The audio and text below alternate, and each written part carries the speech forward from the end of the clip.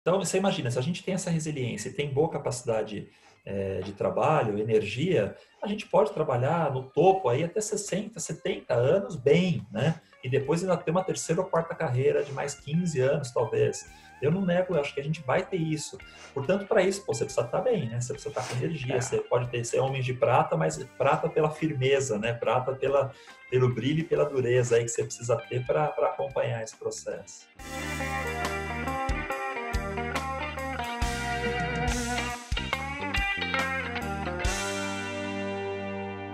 Olá, pessoal. Tudo bem? Eu, Cuca, do canal de Prata, tenho o prazer de apresentar para vocês mais um incrível episódio. Hoje vamos conversar com um grande amigo, Felipe Mendes, um executivo fantástico que tem uma trajetória através do seu conhecimento muito legal. 46 anos, menino ainda, mas já é um homem de prata com muita bagagem, bagagens internacionais e gerenciamento de pessoas e empresas como nenhum outro.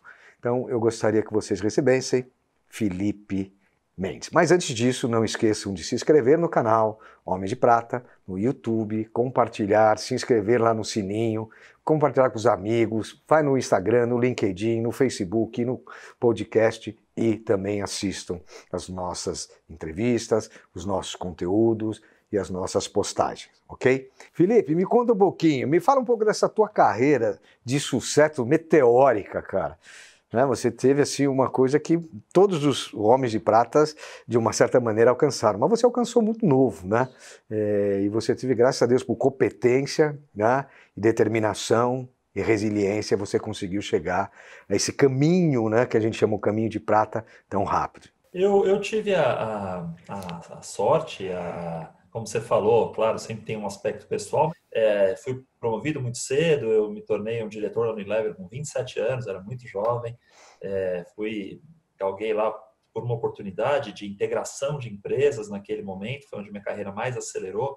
A empresa que eu vinha, que era Refinações de Milho, famosa, é, era dona, foi, foi comprada, comprou a Arisco, foi comprada pela Unilever é, e naquele momento, então, é, quando nós fomos comprados, eu, eu dei a, a, de fato a sorte, e lógico, trabalhei para, depois que me deram a oportunidade de galgar alguns espaços, e a partir daí é, a carreira foi, foi acelerando. Então, é, foi um momento bem, bem importante. Mas eu também comecei a trabalhar muito cedo, trabalhei desde os meus 15 anos.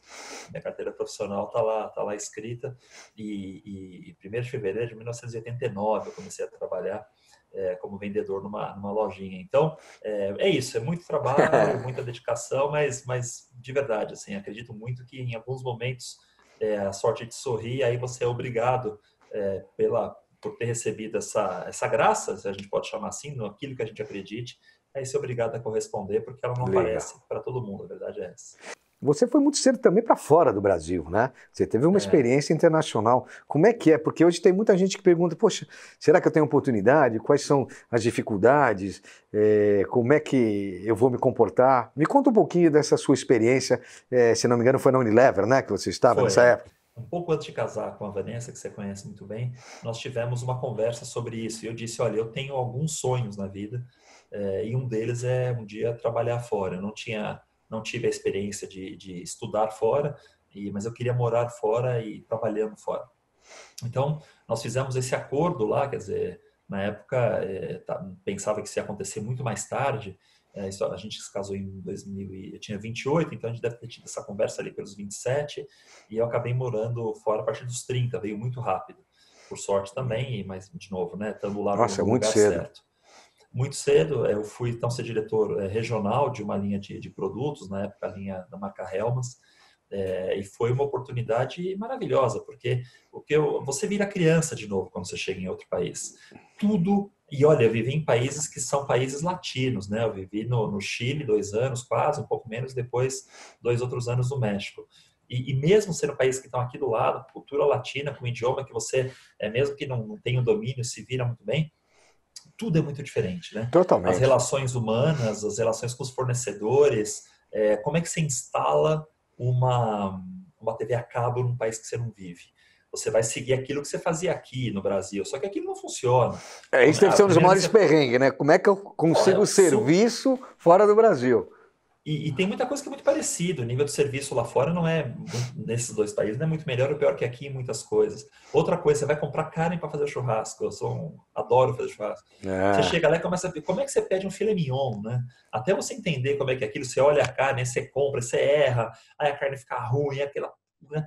Então, a expatriação, eu diria que ela é um estado de espírito ela, ela, você precisa estar expatriado, você mais do que ser expatriado, você precisa sentir, por exemplo, como é que as pessoas se relacionam no trabalho, como é que é a hierarquia, como é que é a relação pai filho nos outros países. Tem muitas escolas, né, a relação dos pais com os professores, tudo é muito diferente. Relacionamento e, com novos amigos, né? Você é estrangeiro.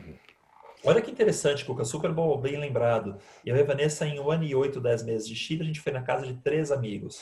É, um trabalhava comigo, que era meu chefe, outro trabalhava com a Vanessa e um terceiro, que também tinha vivido fora do, do, do, país, inclusive no Brasil. No México, a gente foi em três casamentos em dois anos e pouco e quase foi padrinho de filho. Então, você percebe que as duas culturas, de novo, muito próximas, latinas, muito mas é, uma muito inclusiva e a outra um pouco mais distante. Então, é, é, é uma experiência é, maravilhosa para quem pode fazer estudando, deve ser muito bom também. Mas fazer trabalhando e ainda, lógico, né, ganhar dinheiro com esse aprendizado é, é fantástico, é, fenomenal. Como é que nessa loucura você se preparou fisicamente e mentalmente? Que precisa ter um preparo, né, cara? Porque uma hora tem que extravasar um pouquinho. Como é que você fazia é. isso ou faz hoje em dia? É, olha que interessante. Eu, eu, fiz, eu fiz esporte bastante até meus 15, 16 anos. Quando comecei a trabalhar parei, eu, eu, jogava basquete bastante, é minha paixão até hoje. Como diz um amigo, eu gosto tanto que eu deveria ter aprendido a jogar. É, eu, eu, adoro jogar e fiz natação antes. Aí depois parei com o esporte durante muitos anos. Eu fui voltar justamente na expatriação. Porque quando você está fora, você tem muito daquela, daquele tempo que você dedica à sua família, aos amigos que estão ali do teu lado, você não tem tanto isso. Claro. Então eu podia fazer muito mais esporte, tanto eu quanto a minha esposa na época, a gente foi lá e foi fazer pilates, foi fazer é, outras coisas naquele momento, porque de fato você tem essa distância emocional, ela não é menor, né? A gente vê o lado bom, mas o lado pesado é que você sente muita saudade da comida, da bebida, dos amigos, das piadas, da, de tudo. De tudo. E aí você do trânsito, tudo. do trânsito, do, do mau humor. Dos... Do mau humor. Da... Eu digo muito, eu sempre falo das piadas. As piadas eu sentia muita falta da piada é. brasileira. É. E então você precisa se preparar é, emocionalmente e a parte física estando bem, todo o resto resolve muito bem. A partir dali a gente nunca mais deixou de fazer. Então a gente no México fez, eh, no Chile muito pilates, no México yoga e outras coisas. Eh, e até hoje eu faço a minha, a minha ginástica três, às vezes quatro, às vezes duas vezes por semana, porque o, o executivo, né, a gente tem que estar fisicamente bem, né, para é. aguentar o trampo emocional. Não, é muito, muito, muito forte. Agora me fala uma coisa, como é que você é, tem seus hobbies. Na verdade, eu queria saber qual é o seu hobby e como é que você divide isso com a sua, com a sua família, o tempo que você é. tem para se dedicar com eles. Bom, um deles é, como eu falei, é jogar basquete. É algo que eu tento fazer e gosto muito. Mas dentro de casa eu adoro ver filme, adoro ir para cinema e agora dentro de casa vendo filme direto. É, se possível com uma taça de vinho, se possível hum. é, com a Vanessa do lado, né? Ou até com meus filhos. Então, que gostoso. É um, é um hobby não tem, é, é, algo muito prazeroso. Eu não sou um estudioso, um conhecer nem nada, mas gosto muito e tomo minha tacinha todo dia.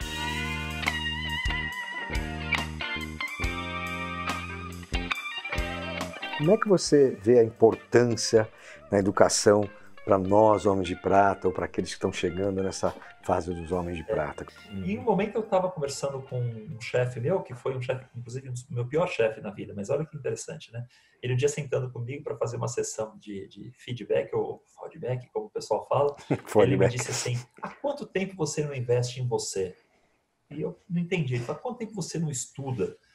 E aquilo me deu um chapalhão, isso era 2001, 2010 talvez, aquilo me deu um chapalhão, Falei, cara, eu preciso voltar a estudar.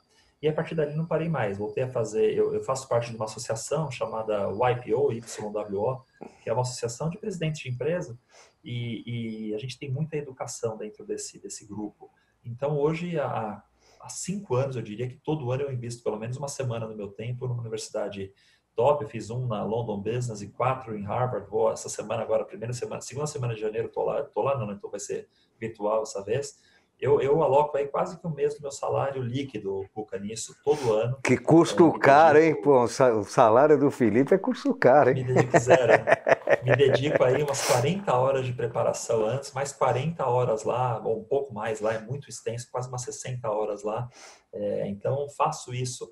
Porque eu acredito assim, é, Cuca, é, para a gente não pode ser carta fora do baralho. Eu tenho um amigo que diz essa frase: nós temos que lutar para continuarmos sendo carta dentro do baralho. A geração de prata não pode se tirar do jogo. E para você permanecer do jogo, você tem que estar o quê? atualizado, moderno. Claro, então, claro. Eu, eu não quero fazer dois meses de curso, eu quero fazer todo ano um curso pesado e estar tá sempre me atualizando, lendo muito. E mesmo depois, eu acho que essa, essa busca pelo conhecimento, né, pela informação, não não precisa parar quando você, ah, tem uns 50, 60. Não, eu acho que a gente tem hoje oportunidades, eh, mesmo se não for presencial, mesmo online, que dá essa chance de a gente conhecer mais coisas. É questão de focar.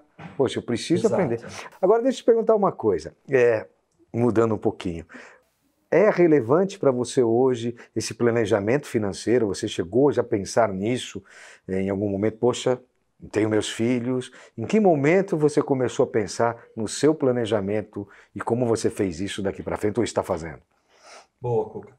Acho que tem três coisas. A primeira é que, como eu vim de uma família simples, eu sempre poupei uma boa parte da minha do meu ganho. Sempre fui de poupar bastante, muito mais do que muitos amigos. É, eu é, e, a, e, a, Vanessa também tem a mesmo mesmo pensamento. Então a gente como casal é, se a gente entrar para nadar na piscina do Clube Cívico, a gente é sócio, a gente sai com o sorrisal inteirinho do lado de lá. A gente busca não gastar. A gente sempre, sempre poupou bastante. E poupar bastante, como você comentou, né? Eu tive, por sorte, um salário bem razoável jovem. Eu estou há muitos anos poupando. E no momento em que os juros no Brasil ajudavam ao poupador, né? É, a gente deixava o dinheiro lá e ele trabalhava para a gente. É, Há uns dois ou três anos, eu, eu conversando com alguns amigos, eu percebi que eu estava numa fase que eu precisava continuar poupando, mas precisava começar a usar. E aí eu também comecei a pensar melhor esse balanço, porque é, eu tenho, eu acredito que eu estou no segundo, no primeiro minuto do segundo tempo da minha vida, né? Pensando que a gente vai viver, sei lá, 90 anos, eu estou com 46, então eu estou no primeiro minuto, o minuto 46 dos 90 minutos. Ou ralar com alguma prorrogação. Cara, tá no é, melhor da vida, cara. Agora é a hora. E, e nesse primeiro minuto eu preciso começar né, a, a, a, desfrutar também de algumas coisas disso. Então eu, eu mudei meu pensamento. É, a gente tentou gastar menos em algumas outras coisas e mais viagem, a viagem para as crianças. A gente percebe o quanto elas levam isso para o resto da vida, né? O momento que estava junto, a experiência, o, a alimentação diferente de uma cidade, enfim, tudo, né? Então acho que tem um momento em que você também tem que fazer, gastar de maneira sábia isso que você economizou, mas não esperar né, a aposentadoria para fazer isso, porque as energias mudam, as companhias mudam. Eu quero gastar um pouco meus filhos, né? É verdade. Mas eu acho que tem um, não é isso, quer dizer, pô, fantástico. Tenho, pô, né, eles me vêm trabalhando um monte, eles precisam sentir que a gente que a gente está junto, por exemplo, curtindo algumas coisas da vida. Isso te acendeu Mas, mais ou menos aos 40 anos, você acha que? Aos 40, 42, né? Numa discussão desse grupo o IPO, a gente falou um pouco sobre IPO, isso. Tá. E alguém disse, não dá, precisa ter também o prazer da coisa toda, né? Mas eu acho que nós estamos entrando numa fase nova no Brasil, e essa é uma fase em que todos nós vamos ter que reaprender, que é acabou o juro alto, acabou o dinheiro trabalhar para você, agora você precisa Precisa trabalhar, né, mais. cara? Precisa trabalhar, precisa ir atrás, se reinventar. E, é... e o planejamento financeiro, que é uma, uma ciência que está começando a ser falada no Brasil, ela, agora é o momento. É, eu, assim como a gente até conversou, eu, eu invisto um pouquinho, um pouco de dinheiro é, em algumas startups, estou aprendendo a investir em startups eu estou aprendendo a investir em outras coisas que antes, cara, era uma renda fixa, um multimercado lá e fazia. E isso vai ser muito legal, porque eu acho que isso para o Brasil vai ser uma, uma época de muita prosperidade, porque o nosso capital vai deixar de ser aplicado no mercado financeiro para ser aplicado no mercado de capitais. Quer dizer, você vai começar é, a. E produtividade, é, produtividade. O que que produz? O que que traz diferença? O que traz benefícios, né? Acho Exato. que a gente tem que pensar um pouco mais no ser humano agora, né? É... Exato, e você vai ter que aplicar esse dinheiro, talvez, por exemplo, no caso da Vanessa, né? Quer dizer, ela construiu a primeira empresa dela há 10 anos, agora está abrindo a segunda. Que bacana. Eu colocando dinheiro em algumas startups. Você vai precisar, a gente vai precisar girar o dinheiro no Brasil. Hoje você sabe dizer não? Eu tenho muita dificuldade de dizer não, muita, muita, muita. É, e especialmente quando vem de alguém que, que eu acredito que eu possa ajudar. Nós temos uma tendência muitas vezes do, de, de, de, de, de, de, de tem, não, não precisa ser um pouco paternalista, mas de tentar proteger as pessoas. E, e, eu acho que não, acho que a gente tem que dar aquilo que elas podem é, é, aguentar e cada um com seus problemas, porque isso é algo que eu venho é, mentalizando sobre isso que Legal. cada um tem o seu. E às vezes chega um problema que eu saberia talvez até resolver, mas eu digo, me desculpa, esse não é o meu problema. E qual foi o seu melhor erro? Cara, eu acho que foi voltar para o Brasil antes do que eu deveria. Eu acho que eu poderia ter ficado mais tempo fora do Brasil. É, e muita gente viu isso como, como um erro meu de até de carreira, porque eu saí daquele momento da Unilever. É, mas, mas foi o seu melhor eu, erro, né? Eu acho que foi, porque assim, eu vim para ficar com meu filho mais velho, Vinícius, ah. perto dos avós. É, voltei para minha terra, entrei num segmento que eu até estou até hoje, que, que, enfim, hoje me permite é, trabalhar muito com conhecimento, com intelecto. É, eu acho que foi o meu melhor erro. Talvez eu não sei se eu, se eu tivesse ficado, o que seria da minha vida, é, porque de novo era uma grande empresa, uma grande oportunidade, um país que eu adotei como meu segundo lar, que é o México. Talvez porque meu filho tenha nascido lá. Até hoje é um país que eu carrego no coração. É, então, talvez tenha sido um erro, mas se foi, foi o meu melhor erro, eu acho. Que bacana. E o que você não quer? eu não quero depender de ninguém nunca. Eu fui criado para ser independente, eu fui criado para resolver meus problemas, eu fui criado para me virar. Eu, eu, como jogo basquete que eu te falei, vira e mexe, eu tô quebrado, braço, perna, tornozelo, dedo. Cara, eu luto para pedir ajuda. Eu, eu, eu não quero depender de nada nem ninguém nunca. É, isso será o maior castigo que eu possa ter na minha vida, ter que depender. Em todos os quatro aspectos que você falou aí, da, da, da, da, da, da do, do, enfim, do homem de prata, depender economicamente, depender do ponto de vista social, é, saúde, de saúde, cara, eu, eu, eu se Deus quiser, eu, eu, eu vou trabalhar para não, não ter essa dependência. Isso faria muito mal para mim.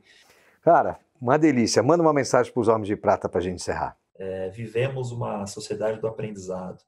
Então, seguir aprendendo, ir atrás, conhecer coisas novas, isso faz bem para tudo, para o corpo, para a alma, para o coração e também para a sociedade. Nós temos o dever de compartilhar tudo isso que a gente aprendeu com, com as pessoas que lá estão. Acho que essas são as duas coisas que eu, que eu queria deixar de mensagem para o nosso público aqui, do Homens de Prata.